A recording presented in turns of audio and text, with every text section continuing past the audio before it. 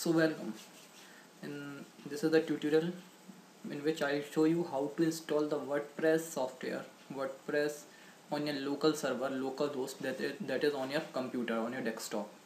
So for that please make sure that you have WAMP installed on your computer before doing this okay?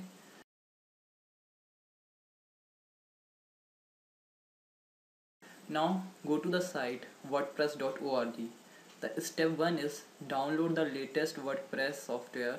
But uh, you, you will find the uh, download link here on the home page. Just click it and download it. After that come to a download location. You will find the zip format of the software. Extract it here. This is the folder after the extraction. Just go inside it. You will find the folder wordpress. Again go inside it now you will find several files in, inside the folder wordpress copy all the files.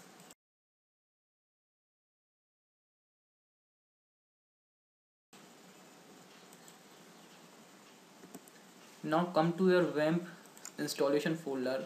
For me it is in C WAMP in that go to the folder www remember in folder www in that folder paste all the files of WordPress so after finishing that the next step is start your WAMP server. And that is why going to start menu search start WAMP server and click it. It will start your server. Now the next step is open your browser any browser and in new tab type http localhost and press enter. You will see a window like this which will ask you to create a configuration file for the first time. So click it.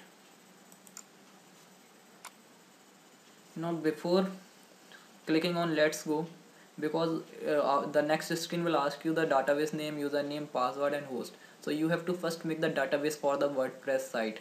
For that open a new tab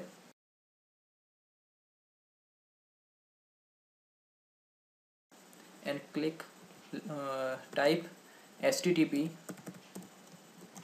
localhost slash php my admin and click enter.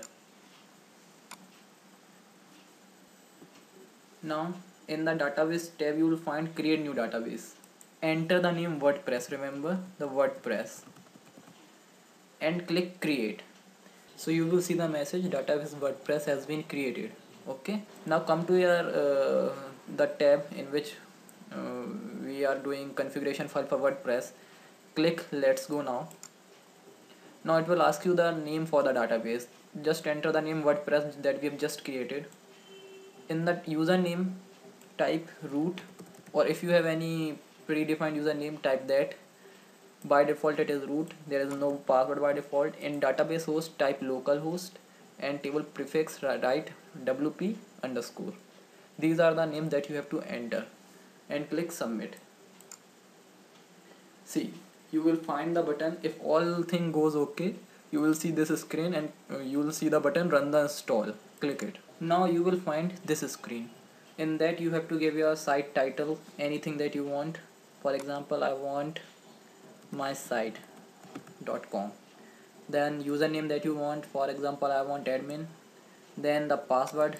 Password you can uh, give any password. Then your email so provide a gmail or yahoo id whatever you want. Webmasters at gmail.com and click install wordpress you will find the screen saying success. So now congratulations that you have set up your wordpress. Now just you have to click login and just type your username and password that you have just entered. And you will have access to your site. And let's wait to open it. And now here it is. You are at your dashboard. Now whenever you want to um, start your site what you have to do just log out at this time. Let's close the browser.